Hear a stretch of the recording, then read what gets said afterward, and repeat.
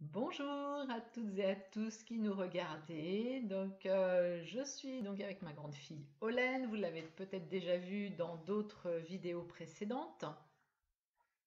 Euh, aujourd'hui, avec euh, ma grande fille, on va aborder un sujet qui est pas très confortable ni pour l'une ni pour l'autre. C'est la période qu'elle a vécue elle en tant qu'enfant quand j'étais en burn-out maternel. Voilà, donc à ce moment-là, évidemment, moi, j'étais pas bien du tout. J'étais malade tout le temps. J'étais pas disponible. Et donc, évidemment, euh, pour la demoiselle bah, et ses petites sœurs, c'était pas terrible. Et donc, elle va vous parler un petit peu de elle, son vécu et comment, comment ça s'est passé. Bonjour à tous. Donc oui, effectivement, ma maman a été en burn-out. Elle en a même fait plusieurs. Euh, et, le, en fait, on, veut vraiment vous montrer en fait le revers de la médaille parce que euh, vous êtes maman, vous êtes papa et vous êtes dans cette situation-là et vous savez pas ce que pensent vos enfants, ce qui est tout à fait normal, on n'est pas dans leur tête. Et du coup, je voudrais vous partager mon expérience, mon point de vue en tant qu'enfant. C'en est un parmi des milliers, sans aucun doute, parce qu'on vit tous les choses de manière différente. Mais c'est vraiment pour vous rassurer que vos enfants, c'est normal s'ils réagissent de manière différente. Et surtout pour que vous puissiez prendre conscience de ce que eux peuvent expérimenter et ressentir. Donc en fait, quand maman était en burn-out, quand elle était, quand elle passait ses journées au lit, quand elle n'avait pas d'énergie, quand elle n'était pas présente, bah c'était très compliqué pour nous en tant qu'enfants. Alors là, je vois tout de suite les parents, oh, mince, c'est vrai, je suis un parent horrible. Non, c'est pas vrai. Vous êtes un parent, vous avez des difficultés, mais c'est normal. Vous, avez un manque d'énergie, bah, ça peut arriver à tout le monde.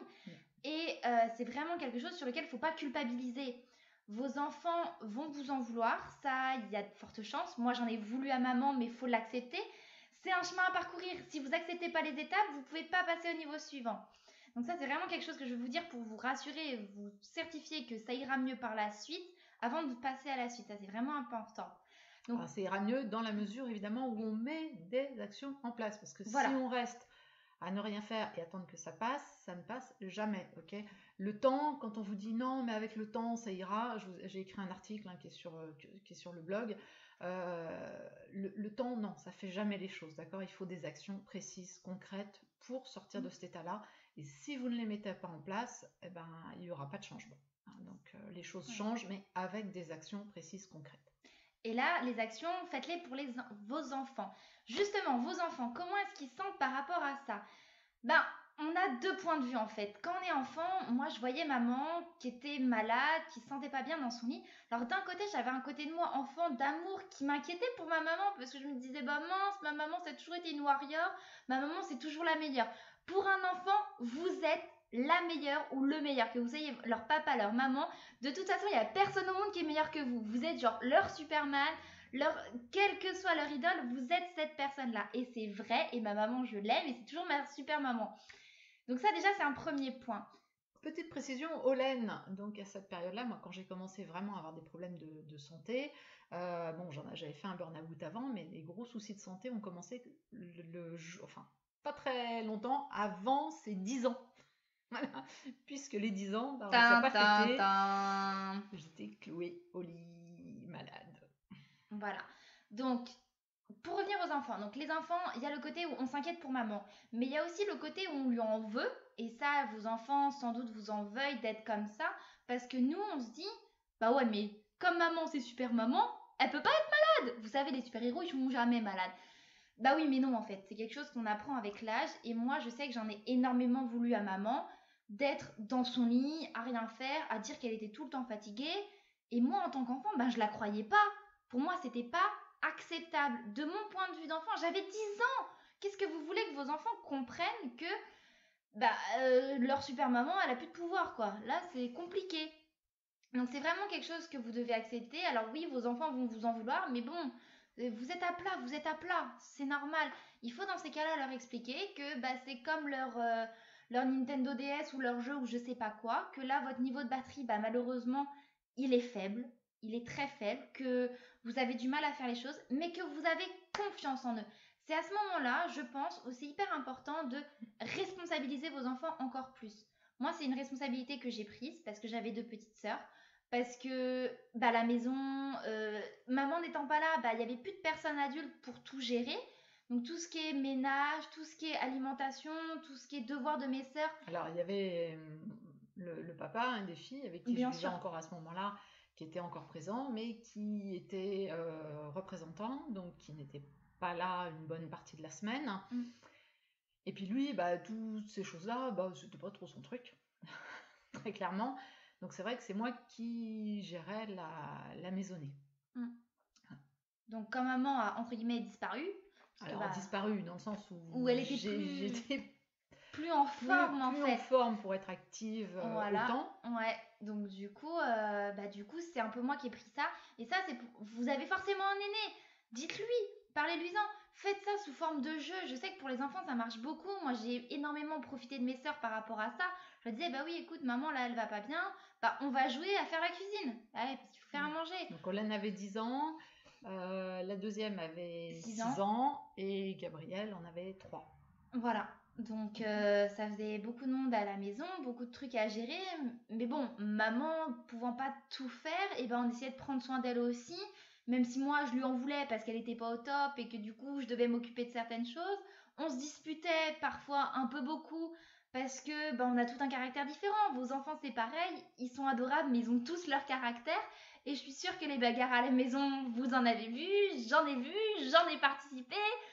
Mais ça, c'est normal parce qu'il n'y a plus d'autorité, plus de personnes qui disent Hé, stop, les enfants, ça suffit. C'est là où c'est une période qui est compliquée, mais si vous prenez vraiment soin de vous, si vous mettez des actions en place, vous allez vous en sortir. Même si à l'heure actuelle, vous voyez pas la lumière au bout du tunnel, moi en tant qu'enfant, je la voyais pas, maman, tu la voyais pas non plus.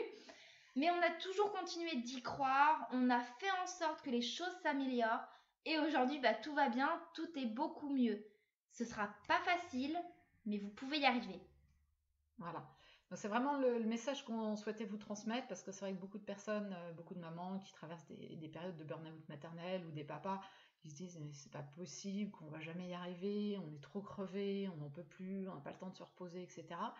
Euh, voilà, la première des choses, c'est déjà évidemment de faire un état des lieux de votre état. Hein. ça, c'est la première chose que je mm. fais, moi, quand une personne euh, me demande en consultation, c'est on fait déjà un état des lieux de son état global au niveau de la santé, au niveau des relations, au niveau du couple, au niveau des finances. On, met tout à plat mm. un petit peu pour savoir euh, qu'est-ce qui va être possible, qu'est-ce qui ne va pas être possible.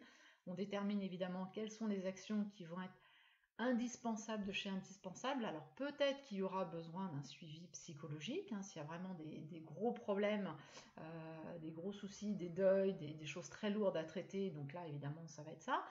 Peut-être qu'il y aura besoin d'un suivi euh, au niveau médical parce qu'il y a un gros problème de santé. Et là, ben, ça va être à voir avec le médecin ou avec des médecines plus naturelles comme la naturopathie, phytothérapie, le, shiatsu. Voilà, moi j'ai énormément travaillé. Voilà, parce qu'il y a eu un moment, j'en pouvais tellement plus. Je, me dis, bon, euh, qu'est-ce que je peux faire au niveau euh, physiologique, quoi, euh, vraiment pour mon organisme? Et ça, c'est vraiment la base. C'est-à-dire que si l'organisme n'a pas de vitalité, on ne peut rien faire. Alors, on peut développer tout plein de techniques de communication, de trucs, de machin, si le moteur il n'a pas d'essence, il n'a pas de carburant, ça ne fonctionne pas. Donc c'est véritablement un gros travail à faire. Moi, c'est un très gros travail que j'ai fait. Ça n'a pas été simple. Hein, On en a pas vu aussi.